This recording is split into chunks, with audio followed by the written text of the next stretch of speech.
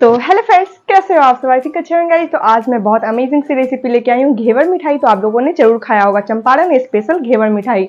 आज मैं आपको फ़र्स्ट क्लास एकदम सिंपल एकदम आसान तरीके से बताने वाली हूँ घेवर मिठाई। तो फ्रेंड्स अगर आप हमारे चैनल पर नए हैं या हमारी वीडियो पहली बार देख रहे हैं तो फटाफट लाइक कर दे शेयर कर दे एंड सब्सक्राइब करना बिल्कुल ना भूलेगा तो चलिए ज़्यादा देर ना करते हुए वीडियो बनाना स्टार्ट करते हैं। लेट्स स्टार्ट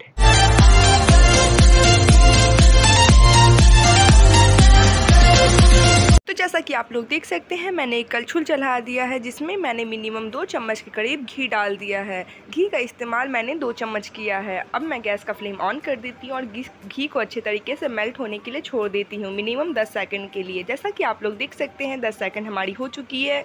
घी अच्छे तरीके से मेल्ट हो चुकी है और गर्म भी हो चुकी है। तो अब मैं गैस का फ्लेम बंद कर देती हूँ। उसके बाद मैंने एक मिक्सी जार ले लिया है। मिक्सी ग्राइंडर में मैं ये गरम घी को, नॉर्मल गरम घी को मैं इसमें डाल देती हूँ। ये ज़्यादा गरम भी नहीं होनी चाहिए, ज़्यादा ठंडी भी नहीं होनी चाहिए। मैंने थोड़ा गरम कर दिया है घी को।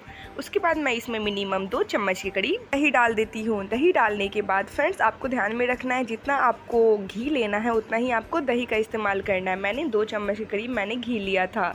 उसके बाद मैं दो चम्मच के करीब दही ले लेती हूँ। इसे अच्छे तरीके से मैं मिक्सी जार में ग्राइंड कर लेती हूँ।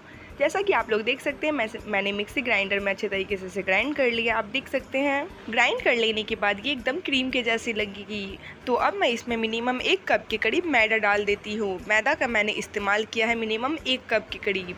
मैदा को डाल देने के बाद मैं मिनिमम एक चम्मच करीब इसमें बेसन डाल देती हूँ।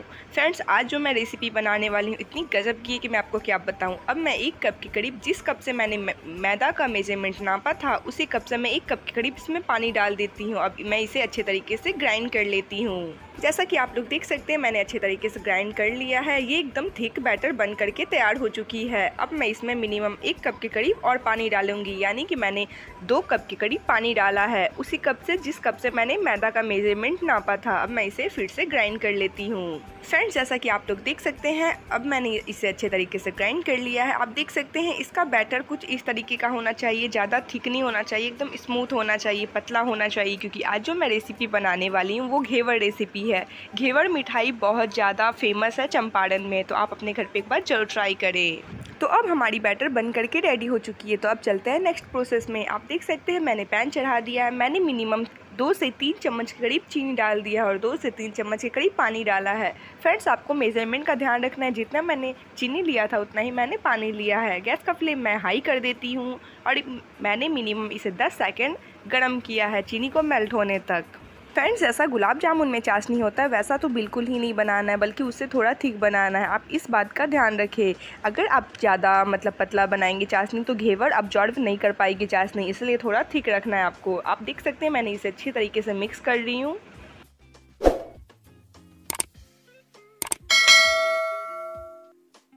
जैसा कि आप लोग देख सकते हैं, मैंने गैस का फ्लेम बंद कर दिया है। चाशनी हमारी रेडी हो चुकी है एकदम, बिल्कुल ये ऐसी थिक होनी चाहिए। तो अब मैं इस चाशनी को साइड रख देती हूँ। फ्रेंड्स अगर आपके पास वो गोल सा टीन होता है जिसमें घेवर बनाया जाता है, अगर आप के पास वो है तो आप उसका इस्तेमाल कर सकते हैं। वो काफ़ी लोग, लोगों के पास अवेलेबल नहीं होता, इसी वजह से मैं चाय का चाय का जो बर्तन होता है, जिसे सस्पेन कहा जाता है, मैं उसका इस्तेमाल कर रही हूँ। फ्रेंड्स जैसा कि आप लोग देख सकते हैं, मैंने सस्पेन में आधा, मैंने इसमें घी डाल दिया है। फ्रेंड्स आप चाहें तो इसमें रिफाइंड ऑयल का भी उपयोग कर सकते हैं। खाली सरसों तेल का उपयोग नहीं करना है। मैंने इसमें घी डाल दिया है। घी से टेक्सचर बहुत ज़्यादा अमेजिंग आता है, इसी वजह से मैंने घी का इस्तेमाल किया है। तो जैसा कि आप लोग देख सकते हैं, घी हमारी गर्म हो चुकी है गैस का फ्लेम मैंने लो टू मीडियम रखा हुआ है तो सेंटर में, घी के सेंटर में आपको एक एक चम्मच के करीब मिनिमम आधा चम्मच या एक चम्मच छोटे वाले चम्मच से एक चम्मच के करीब मैं इसमें डाल देती हूँ सेंटर पे। इससे आपको मिनिमम 20 से 25 बार आपको सेंटर पे डालना है कुछ इस तरीके से। इसे मिनिमम आपको 15 मिनट के लिए आपको छोड़ देना है। इसे अच्छे तरीके से ये घेवर को कंप्लीट होने के लिए 15 मिनट चाहिए ही।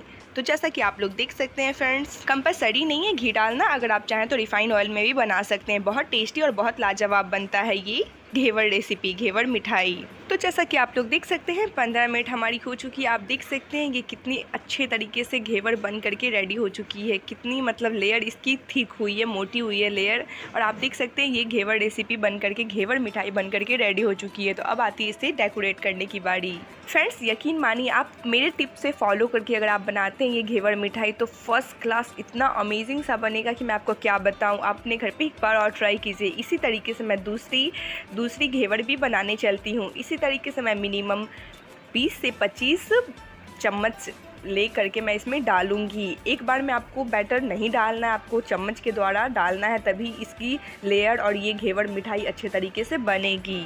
तो कुछ इसी तरीके से मैं बाकी की घेवर मिठाई भी बना करके रेडी कर लेती हूँ। जैसा कि आप देख सकते हैं, ये भी कितनी अमेजिंग तरीके से बनी है। और बाकी अगर आपके मतलब ये घेवर मिठाई के बीच में ये गोल सा सर्कल अगर नहीं हो रहा तो आप चम्मच के द्वारा आप इसके बैटर को थोड़ा थोड़ा साइड करते रहें, तभी इसमें गोल लेयर बनेगी बीच में। जैसा कि आप लोग देख सकते हैं, घेवर मिठाई बन करके रेडी हो चुकी है। तो अब आती है सर्विंग की बारी चंपारण स्पेशल घेवर मिठाई आपको ये रेसिपी कैसी लगी, आप हमें कमेंट करके ज़रूर बताएँ। जैसा कि आप लोग देख सकते हैं, वो चाशनी जो मैंने पहले से बना करके रखा था, घेवर के मैं ऊपर डाल देती हूँ। जो जितने भी आपने घेवर बना करके रखा है, उसके ऊपर आप ये चाशनी का मतलब चाशनी दो तीन चम्मच आप ऊपर से डाल लें। आपको जितना मीठा पसंद है, आप अपने अकॉर्डिंग डाल सकते हैं। तो फ्रेंड्स जैसा कि आप लोग देख सकते हैं, मैंने आधा के जी दूध को मीडियम गैस के फ्लेम में इसका खोआ बनाया है। ज़्यादा थिक मैंने खोआ नहीं बनाया, जैसा कि आप लोग देख सकते हैं। मैंने इसमें मिनिमम आधा कप के करीब चीनी और आधा लीटर के करीब मैंने इसमें दूध का इस्तेमाल किया है और एक कप के करीब मैंने दूध का पाउडर का इस्तेमाल किया अगर आपके पास दूध का पाउडर नहीं है तो आप इसे स्किप कर सकते हैं। बस चीनी और ये इलायची अगर आप डालना चाहें तो डाल सकते हैं। चीनी, इलायची और दूध को मैंने अच्छे तरीके से गैस के फ्लेम, मीडियम गैस के फ्लेम में इसका खोआ बनाया है। इसे डेकोरेट मैं ऊपर से कर देती हूँ क्योंकि सबसे इंपॉर्टेंट होता है ये घेवर मिठाई में इसका खोआ ऊपर से रहता है तो इसका लुकिंग और इसका टेक्सचर गजब का लगता है। तो आप अपने घर पर ये घेवर मिठाई अपने घर पर ज़रूर ट्राई करें। खोआ को ऊपर से डाल देने के बाद मैं इसमें ऊपर से थोड़ा सा ड्राई फ्रूट्स डाल देती हूँ। अगर आपको ये रेसिपी पसंद आती है तो हमें कमेंट करके ज़रूर बताएँ कि आपको ये रेसिपी कैसी लगी। आपके कमेंट का हमें बेसब्री से इंतज़ार रहता है। तो कुछ इसी तरीके से मैं सारे घेवर को अच्छे तरीके से घेवर मिठाई को एक के ऊपर, एक के ऊपर मैं रख देती हूँ। एक एक करके आप किसी को भी, अपने गेस्ट को, अपने मेहमान को, अपने फेस्टिवल्स में जो भी आपका मतलब दुर्गा पूजा, दिवाली, छठ इनफैक्ट जो भी फेस्टिवल आप अपने घर पे ज़रूर बनाएँ। तो thank you for watching guys मिलते हैं नेक्स्ट वीडियो में। कमेंट करना बिल्कुल ना भूलें।